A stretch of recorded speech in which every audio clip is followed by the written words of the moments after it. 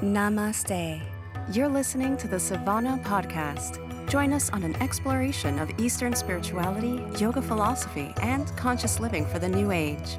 This podcast is a production of SivanaSpirit.com, the best place to shop for unique clothing, spiritual handcrafted jewelry, healing gemstones, and fair trade gifts from the Far East.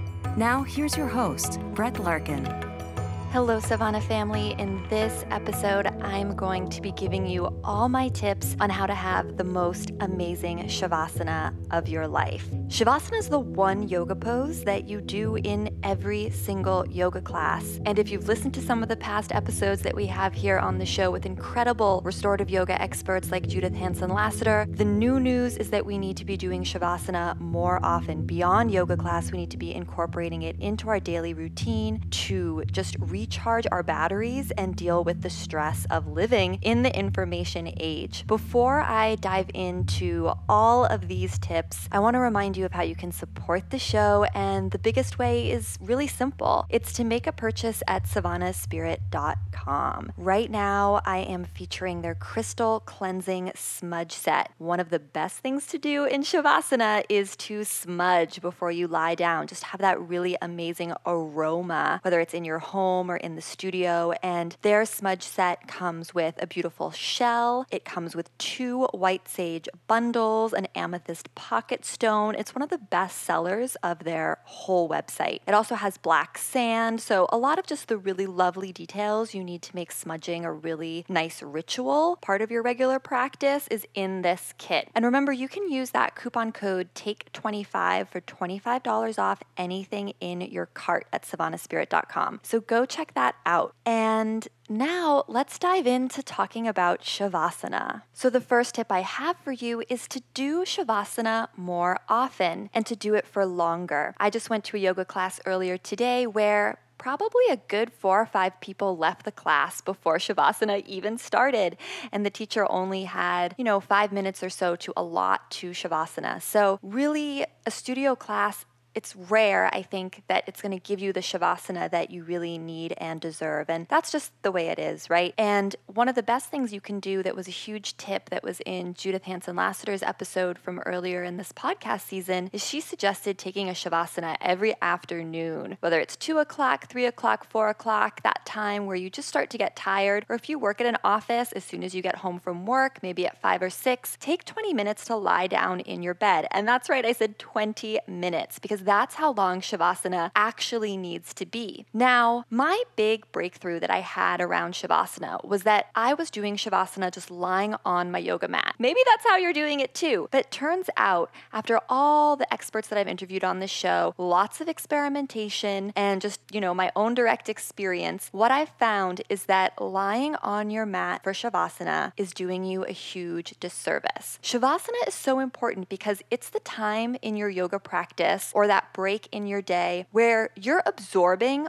all the benefits of what came before. So, in a yoga context, if you did a really heating, powerful class, or maybe a really detoxifying Kundalini Kriya, whatever it is that came before is going to have a more profound effect on your body, your prana, your psyche, your aura. If you allow the intelligence of the prana to really go where it needs to go in the body, and that happens during rest during Shavasana. So you're going to integrate whatever work you're doing so much more deeper, like on this deeper level, if you take the longer Shavasana. So, Shavasana is not a waste of time. It's actually adding more bang to your buck in terms of really getting the most benefit out of your yoga practice. And if you're doing Shavasana as part of your daily routine at home, it's really going to recharge and revitalize you for the next part of your day. I currently live with a nine month old and he takes three to four naps a day and he's super, super happy. We're a lot older than nine months, but we still need to rest. To get up at six or seven, like most of us do, and perhaps not go to bed until 9, 10, 11 p.m. is just too long, even for an adult to not have a timeout or some sort of break. Now, Shavasana means you are not asleep, you are aware, but you're just resting. And this is a state that is uncomfortable for many of us because we're just used to being on the go, go, go, go, go, go, or we're used to being passed out, zonked out, asleep. So it can be uncomfortable for people to just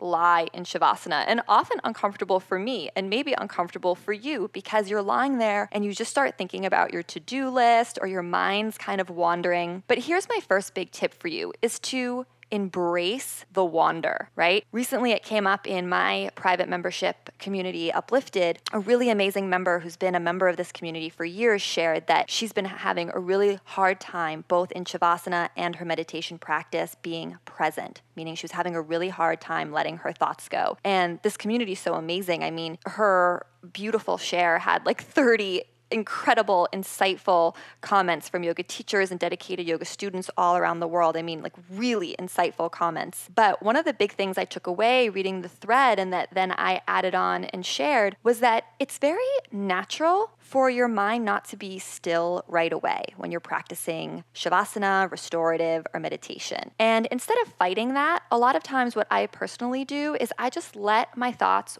wander and let myself daydream and know that eventually that will stop. And then that silence and awareness and sort of deeper sense of presence that we're all craving will naturally kind of bubble up to the surface. But think about it how often do you really let yourself just think or daydream? You maybe feel like you're thinking all the time in your head, but I'm talking about like just daydreaming. How often do you just let yourself sort of think, right? Like, I often don't ever give myself time to do this unless I'm like on a long car ride, for example. Or maybe if you're traveling in a plane or a train and you kind of have this time where there's no Wi Fi and no text messaging and you're just sort of letting your mind be expansive and letting those subconscious thoughts that want to bubble up, bubble up.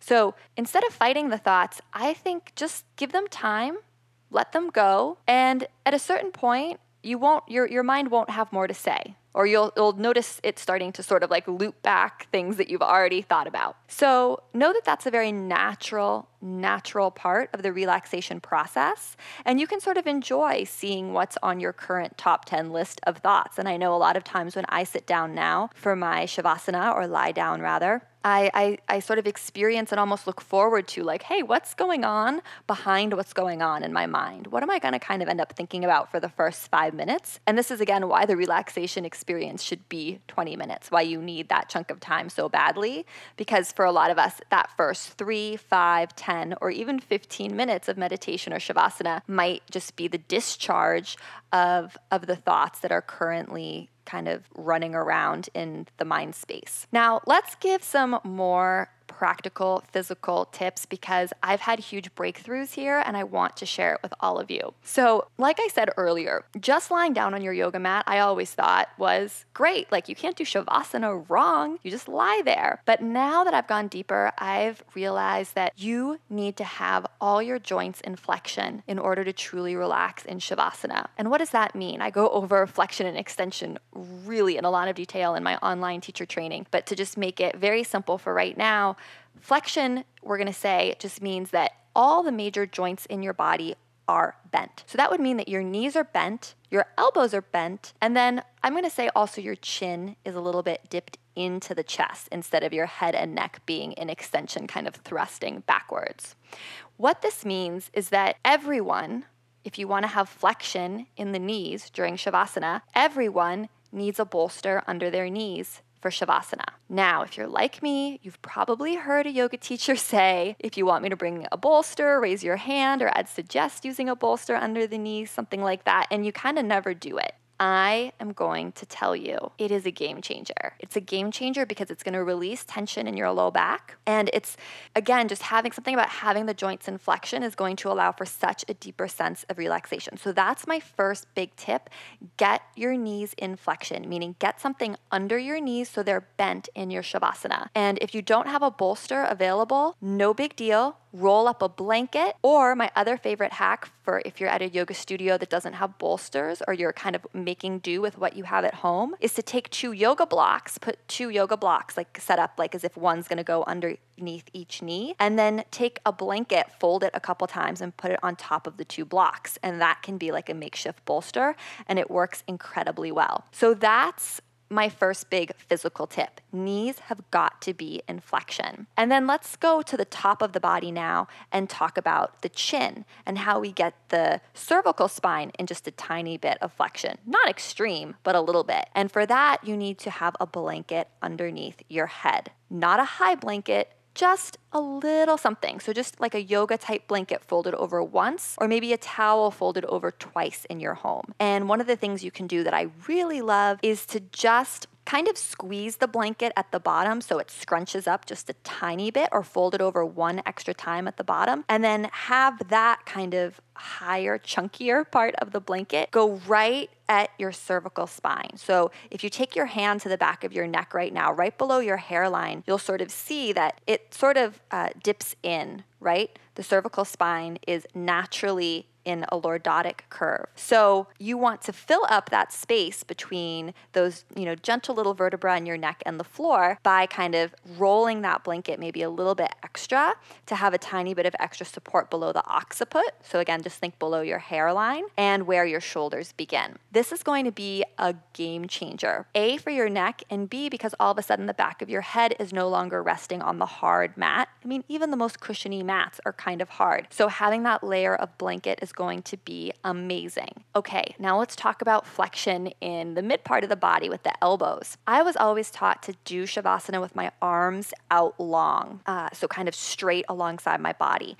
And you know, if that's working for you, please don't change anything on my account. However, as someone who's been heavily experimenting with Shavasana for a couple months now, it has been a game changer for me to bend my elbows and put one hand on the heart and one hand on the belly, or sometimes to interlace both hands and place them around my bra line, just kind of at the above my navel and just relax like that. It helps my shoulder blades relax. And I don't know, there's just something amazing about not having the arms out long, but having them kind of a little bit closer to the body and getting that bend in the elbows, right? Again, that flexion at the elbow joint. These are all going to make a big difference. Now, the other things that are really required to have an amazing Shavasana, and remember, Shavasana is going to get you more bang for your buck. It's going to allow the intelligence of the pranic energy you've generated throughout whatever yoga practice to go where it needs to go. Or if you're resting after a busy workday, it's going to allow the healing to happen and for you to kind of uh, receive healing energy where you need to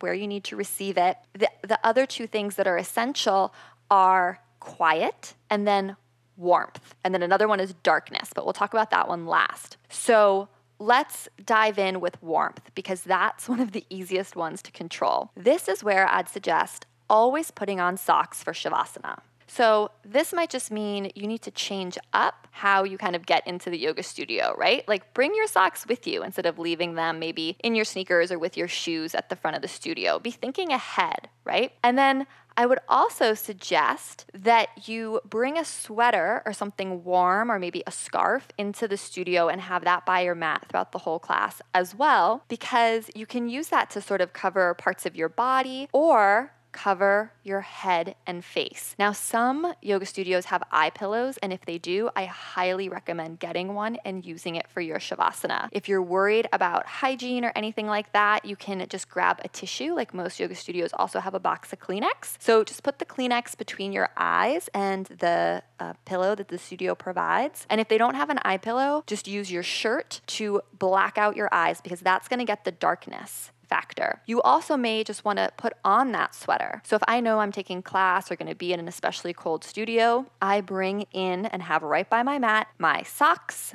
my shirt, like a, a long sleeve shirt that I'll put on for Shavasana, and then also something else as well. Ideally, like a scarf or maybe another additional layer that I can use to put over my eyes to get that third quality we were talking about that's so important the darkness, the blackout. It is so extra healing to have that darkness. And again, the, the eye pillow that actually puts weight on the optic nerve is even better because it's, you know, even when your eyes are closed, your your eyes are still aware of light that's going on in the space around you, even once they're shut. So even though your eyes are closed, inside, the, the optic nerve has not shut off. Inside your closed eyes, your eyeballs are still moving around, even if you're not aware of it. So when you really make it pitch black, that's when that optic nerve can finally just completely take a day off and rest and relax. And if you have restless eye syndrome, which I have, it means even when you close your eyes, they flutter slightly. And that means a weighted eye pillow is going to be essential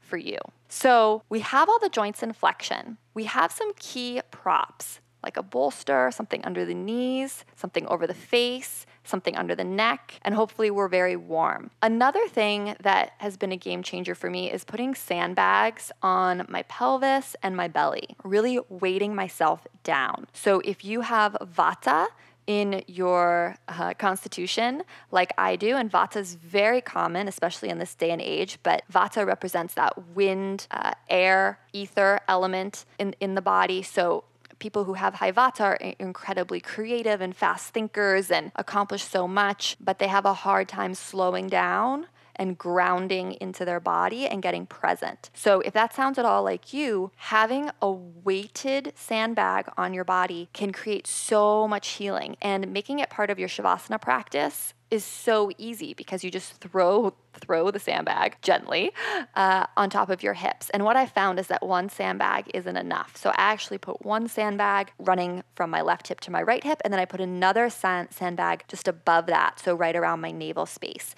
And this really weighs down and helps me get super grounded. And it also helps my low back sort of traction more towards the floor, especially because I have my knees now in flexion, knees are elevated. So I have no lower back discomfort at all. And, you know, I'm kind of slightly back on the back part of my glutes when I'm lying down instead of my low back being arched off the floor. And this is the exact position you want to be in order to really, really deeply relax. Other things that you can do, and this is probably my favorite hack of all because it's so easy and you can't do it so much in the yoga studio, but you could do it in a home practice or if you're taking Shavasana at home or taking a Shavasana break as part of your day, maybe lying in your bed, is to use a heating pad. Now, I had never owned a heating pad or even known that much about them until I had a baby. And my midwife had told me that the heating pad was really an essential item that we needed for our newborn. And it turned out to be one of the best tips we got. We used that heating pad to keep him warm when he was